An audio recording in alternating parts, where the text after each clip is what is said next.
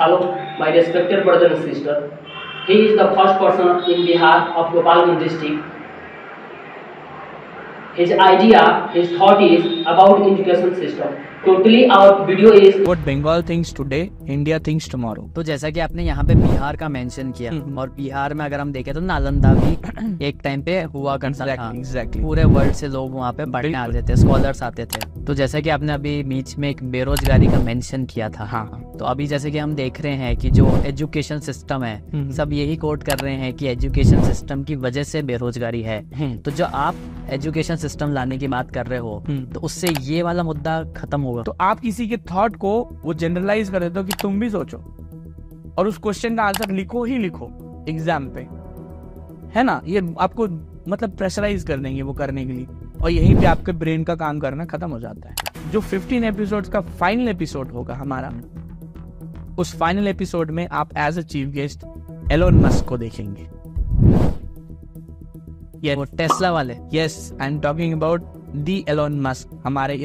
के स्ट्रक्चर में वो है। कॉले मिनट्स 1835 का जो गूगल में बताता है कि I have visited length and breadth वाली बातें हैं। हम्म। उसमें वो मेंशन करता है क्लियर पहले तो मैं आपको धन्यवाद देना चाहूँगा कि अ, मैं जिस कारण से आया था यहाँ बिहार में गोपालगंज में कुछ मीटिंग्स थी जो हमारे प्रोजेक्ट से जुड़ी हुई है। और उसी सिलसिले में जब मुझे पता चला कि आप सब कुछ युवक लोग हैं, बिहार के काफ़ी प्रभावित लोग हैं आप लोग, और मुझे अच्छा लगा कि आप लोगों को ये प्रोजेक्ट सुनकर बहुत अच्छा लगा इसके बारे में जानकारी लेकर। और आप लोगों ने चाहा कि आप अपने चैनल और यूट्यूब के लिए और अपने साथियों के लिए इस बात को एक यूट्यूब में डालें वीडियो के ज़रिए और उन तक भी ये बात पहुँचे। ठीक वैसे ही हमारा भी जो प्रोजेक्ट है, यही चाहता है कि ये जो बात है, जिस पे हम लोग रिसर्च कर रहे हैं ये पूरे इंडिया में डेढ़ सौ करोड़ लोगों के घर तक पहुँचे तो कोई भी हमें जहाँ भी चाहता है इस बात को प्रमोट करने के लिए, हम उनका स्वागत करते हैं। उसी श्रृंखला में आपका भी और आप लोगों का भी हम लोग स्वागत करते हैं। और जहाँ तक है इस प्रोजेक्ट के बारे में, ये प्रोजेक्ट एक शिक्षा व्यवस्था पे आधारित है। पिछले दस सालों से इस प्रोजेक्ट पे काम हो रही है। जिसमें कि चार साल सिर्फ़ और सिर्फ़ एक रिसर्च वर्क पे काम किया गया है। ये जो चार साल रिसर्च किया गया एजुकेशन सिस्टम पे, ये कोई ऐसा रिसर्च नहीं है जो अभी तक हुआ आ रहा है या जो अभी तक जो चर्चा चल रही है देश दुनिया में कि शिक्षा व्यवस्था में ये दिक्कतें हैं, वो दिक्कतें हैं। कोई बेंच टेबल चेयर को लेकर लड़ रहा है, कोई टीचर भर्ती को लेकर लड़ रहा है, कोई पेपर लीक को लेकर लड़ रहा है, कोई लड़कियों बच्चों के लिए टॉयलेट नहीं है, उसके लिए लड़ रहा है।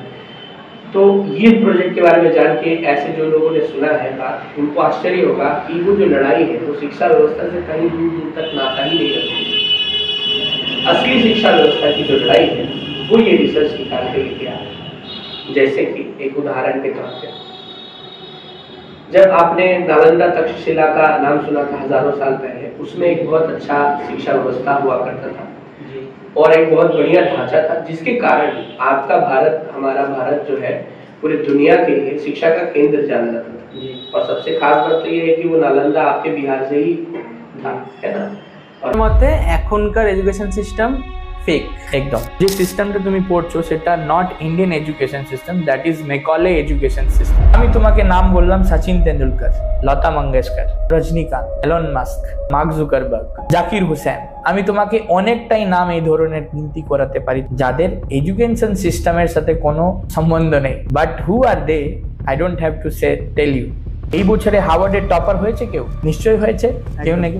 কে আছে এখনকার এডুকেশন সিস্টেম কি মাল্টিবিলিনিয়ার বিজনেস হয়ে গেছে? Why you are calling them to school?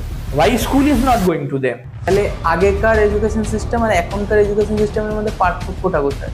We don't have a education system in our country. দশ কোটি বেরোজগার আছে। সেন্ট্রাল গভর্নমেন্টের হাতে বা স্টেট গভর্নমেন্ট যদি দিতে চায় 65 total sixty five lakh job আজকেই তোমাকে দিতে পারে।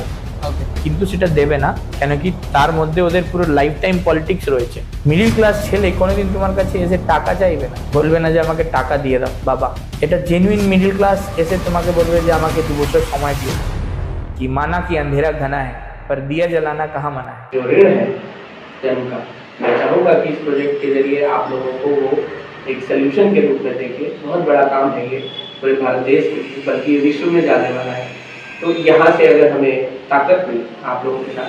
तो बहुत अच्छा लगे। तो जैसे मैंने कहा कि हज़ारों साल पहले जैसे नालंदा तक्षशिला था उसके बाद आप हज़ारों साल के बाद जब वो नालंदा तक्षशिला लुट गया जल गया बर्बाद हो गया उसके बाद हज़ारों साल के बाद एक ब्रिटिश राज आया। और वो ब्रिटिश राज में एक फिर से दोबारा शिक्षा व्यवस्था का ढांचा देखने को मिला जो मेकॉले सिस्टम के नाम से जानते हैं आप लोगों ने सुना होगा। जी। मुझे उम्मीद है। तो उस मेकॉले सिस्टम में जो शिक्षा व्यवस्था बताया गया असल में वो इस रिसर्च में, जो हमने रिसर्च किया, छह साल का, उसमें निकल के आया कि ये कोई शिक्षा व्यवस्था था ही नहीं, बल्कि ये सिर्फ़ एक स्टिकर था। उस स्टिकर के पीछे इसके अपने प्रोपागेंडा थे। अपना उनका सोच था, जिसके ज़रिए वो भारत, अब भारत देश आज़ाद होता है उन्नीस सौ सैंतालीस में, उसके बाद यही सिस्टम को लागू करा दिया जाता है भारत सरकार द्वारा, ठीक है? पचहत्तर साल हो गया आज, हम लोग आज भी उसी प्रणाली में पढ़ रहे हैं, बस उसी ढांचे के